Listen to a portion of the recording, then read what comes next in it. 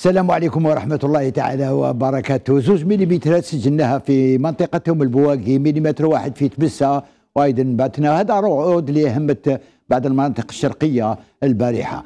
أما الحال كيفاش راح يكون صبيحة هذه الأربعاء إن شاء الله؟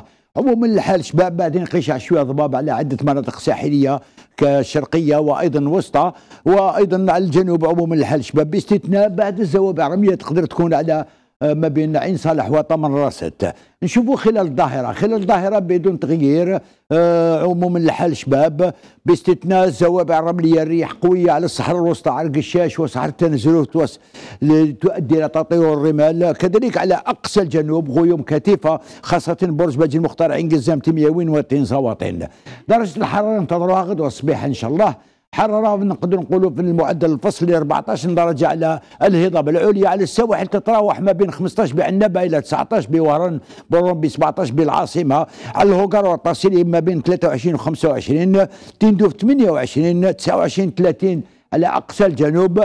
أما شمال الصحراء كما غردايه حسرمل الغواط وأيضا المنيعة ما بين 20 إلى 22 درجة وبالشار 24 وكذلك مدينة ورقلة.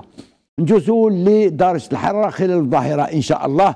36 بورقلة 29 بغردة بالعاصمة 31 بوهران 34 35 خاصة منطقة شلف سعيدة وسيدي بالعباس ومعسكر 41 بتندوف 42 على أقصى الجنوب 27 بعنابة 28 بقسنطينة وأم البواقي وميلا أما فيما يخص الملاحة والصيد البحري البحر عموما يكون شباب على السواحل الشرقية 10 إلى 15 كيلومتر الساعة و10 إلى 30 كيلومتر الساعة للسواحل الوسطى وأيضا الغربية. الاتجاه تاع الريح يكون الشرقي الرؤية تكون من 4 إلى 8 أميال بحرية. غروب وشروق الشمس على الجزائر العاصمة وضواحيها لهذه الأربعاء 18 ماي 2022 الشروق يكون على 5 و 39 دقيقة والغروب على السبعة واحد وخمسين دقيقة والعناوين الإلكترونية هذه في خدمتكم.